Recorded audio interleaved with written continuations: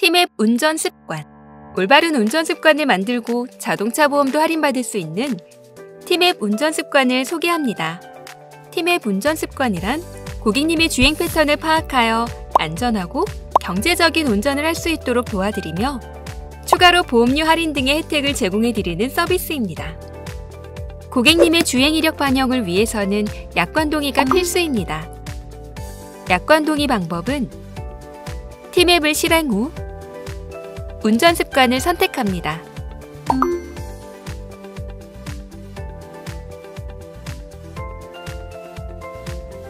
하단에 있는 파란색 박스에 동의 버튼을 선택하시면 팀의 운전 습관 서비스를 이용할 수 있습니다.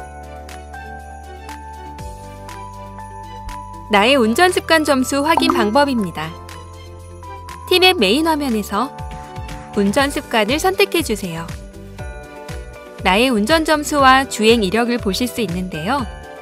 점수를 선택하시면 종합 점수와 월별 점수는 물론 과속, 급가속, 급감속 이력 등의 상세 내용도 확인할 수 있습니다. 나의 운전 습관 점수가 어떻게 계산되는지 궁금하시죠?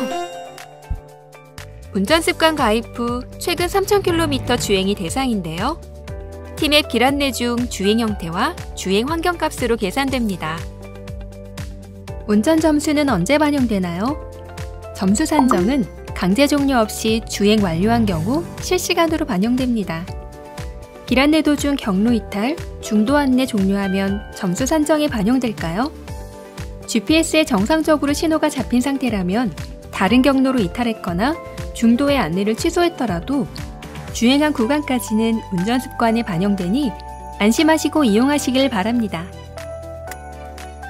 안전 지키고 돈 버는 티맵 운전 습관. 우리 같이 시작해 보아요.